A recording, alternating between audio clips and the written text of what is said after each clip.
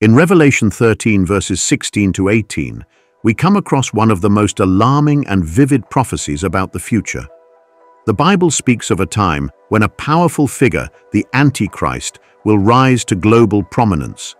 This figure, empowered by Satan, empowered by the very gates of hell, will establish a worldwide system that requires allegiance in the form of a mark, the infamous Mark of the Beast. This mark will be mandatory for all people, regardless of their social status, economic standing, or freedom. Revelation states, Revelation 13, verses 16 to 18, And he causeth all, both small and great, rich and poor, free and bond, to receive a mark in their right hand or in their foreheads, and that no man might buy or sell save he that had the mark, or the name of the beast, or the number of his name. Here is wisdom. Let him that hath understanding count the number of the beast, for it is the number of a man, and his number is 666. If you look at our world today, does it not feel like we are being thrust into this age of the mark of the beast? If you ask me, it does. It really does. We are witnessing our world transform right in front of us, a world where everything you say is tracked, everywhere you go is tracked where everything you buy is monitored. It is slowly but surely becoming easier and easier to imagine how the system seen in Revelation could be enforced. We live in a time of unprecedented surveillance, where governments and corporations have the ability to monitor our every move. From the smartphones in our pockets to the social media platforms we use, there is a digital footprint for nearly every aspect of our lives. Facial recognition, biometric data, and cashless transactions are becoming the norm. While these technologies offer convenience and security, they also pave the way for a future where control could be centralized in the hands of a few, just as Revelation warns us about. Think about it. Cash is being phased out, digital currencies are on the rise, and even the concept of a social credit system is being experimented with in some parts of the world. It's not hard to envision a day when buying and selling could be entirely dependent on whether or not someone has pledged allegiance to the system. We are not yet in the time of the Antichrist, but the infrastructure is undeniably being laid out. The world is being conditioned for this. We are moving closer to a society where global control is not only possible, but probable. This mark will signify more than just a means of participating in economic transactions. It represents an allegiance, a loyalty to the Antichrist. Refusing the mark means refusing to bow to this satanic system, and that decision will come with severe consequences. The question is, if you refuse to take the mark of the beast, what happens next? What trials will you face? And how does the rapture fit into this larger context? The rapture, timing and perspectives. One of the first things we need to consider in relation to the mark of the beast and the end times is the timing of the rapture. The rapture is the event where believers are taken up to meet Christ in the air, as described in 1 Thessalonians 4, verses 16 to 17. For the Lord himself will descend from heaven with a shout, with the voice of an archangel, and with the trumpet of God and the dead in Christ will rise first. Then we who are alive and remain shall be caught up together with them in the clouds to meet the Lord in the air. And thus we shall always be with the Lord. The timing of the rapture has been one of the most hotly debated topics in Christian eschatology. There are three primary views. Pre-tribulation rapture, the belief that believers will be taken up before the tribulation begins, sparing them from the trials that will befall the earth. Mid-tribulation rapture. The belief that the rapture will occur midway through the tribulation, after the first three and a half years of relative peace, but before the worst judgments begin. Post-tribulation rapture. The belief that believers will endure the entire tribulation and be raptured at the end, just before the return of Christ, to establish his millennial kingdom. Personally, I ascribe to a pre-tribulation view, which teaches that the church will be raptured before the Antichrist rises to power and before the mark of the beast is enforced. However, it's important to understand that there are also valid biblical arguments for mid-tribulation and post-tribulation rapture views. The truth is, we must approach prophecy with great humility. Even though I believe in a pre-tribulation rapture, I also acknowledge a mid-tribulation rapture and post-tribulation rapture perspective have their own valid strengths. I also acknowledge that there is much we don't know, Jesus himself said in Matthew 24, verse 36, But of that day and hour no one knows, not even the angels of heaven, but my Father only. No matter how much we study the Bible, no prophecy expert can claim with 100% certainty that they know exactly how and when these events will unfold. The timing of the rapture is in God's hands. Whether the church is taken before, during, or after the tribulation, we can trust that God's plan is perfect and His timing is always right. It's vital to emphasize that our salvation does not depend on whether we believe in a pre, mid, or post-tribulation rapture. Over the years, I have seen some Christians act as though a person's view on the timing of the rapture determines their faithfulness to God. This is not only incorrect, but it also shows a lack of understanding of the gospel.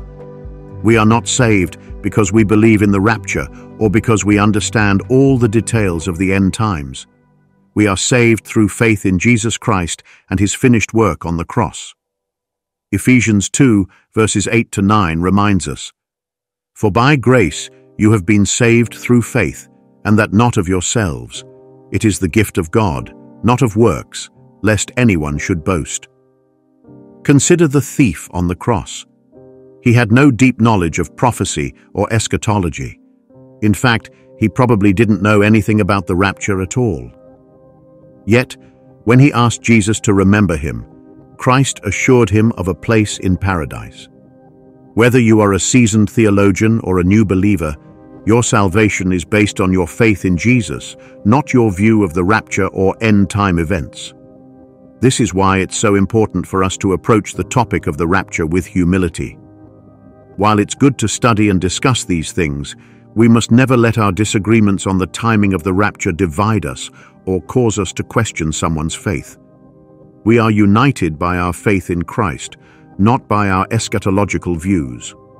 For those who find themselves living during the tribulation, whether because the rapture hasn't occurred yet, or because they became believers after the rapture, the refusal to take the mark of the beast will come with severe persecution and hardship.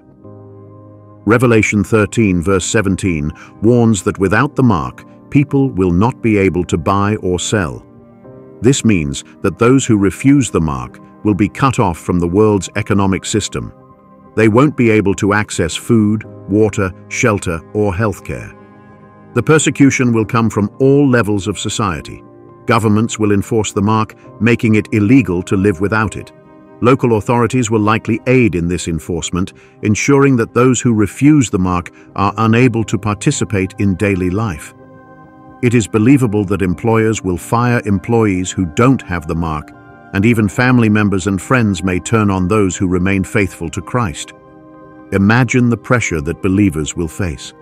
Picture a father watching his children grow weaker from hunger because he cannot provide food for them. He knows that all he has to do is take the mark, and they will be able to eat. The temptation will be overwhelming. The devil knows that humans are naturally inclined to protect their families, and he will use this as a weapon of coercion. This is exactly how Satan operates. From the Garden of Eden, where he tempted Eve by questioning God's goodness, to the end times, where he will tempt people to take the mark of the beast, Satan's strategy has always been the same using deceit, coercion, and manipulation to lead people away from God. Many people will break under this pressure. The persecution will be like nothing the world has ever seen, and many will choose to take the mark simply to survive. Jesus warned us of this in Matthew 24, verses 21 and 22. For then there will be great tribulation, such as has not been since the beginning of the world until this time, no, nor ever shall be and unless those days were shortened, no flesh would be saved. But for the elect's sake, those days will be shortened. The suffering will be so intense that Jesus himself said it would need to be shortened for the sake of the elect. Yet, in the midst of this intense persecution, there will be those who endure. These are the saints who remain faithful to Christ, even when it costs them everything. The Bible repeatedly emphasizes the importance of endurance during the tribulation. Revelation 14:12 says, Here is the patience of the saints. Here are those who keep the commandments of God and the faith of Jesus. This patience, or endurance, will be essential for believers living in the tribulation. The suffering will be immense, but those who endure to the end will be saved. Jesus also said in Matthew 24:13, "But he who endures to the end shall be saved." Endurance during the tribulation is not just about surviving physically, it's about remaining faithful to Christ, even when the world around you seems to be crumbling. Even when it seems like the Antichrist is in control and evil is winning, believers must hold fast to the truth that God is still sovereign. As we've already discussed, Satan will use coercion to get people to take the mark of the beast.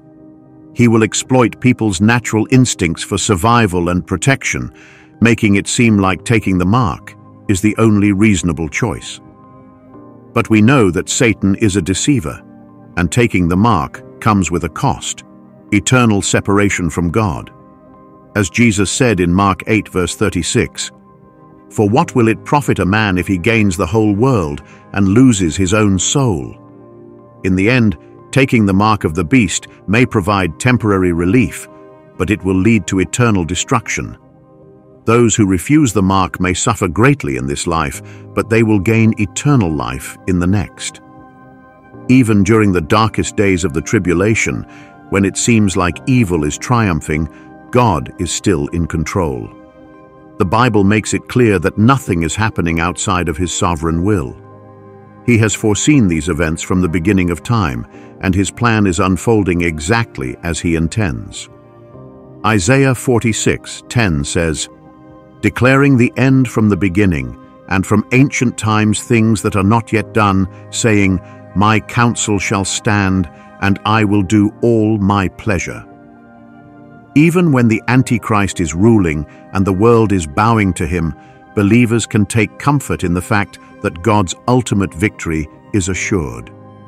In Revelation 19, verse 11 to 16, we read about the return of Christ who will defeat the Antichrist and establish his kingdom.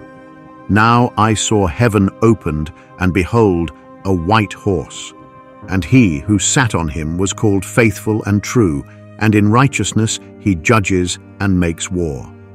For those who refuse the mark of the beast, there is a glorious promise of eternal life with the Lord. Revelation 24 speaks of those who did not worship the beast or receive his mark, saying, They lived and reigned with Christ for a thousand years. The suffering of this world is temporary, but the reward for faithfulness is eternal. Revelation 21:4 gives us this beautiful promise. And God will wipe away every tear from their eyes. There shall be no more death, nor sorrow, nor crying. There shall be no more pain, for the former things have passed away.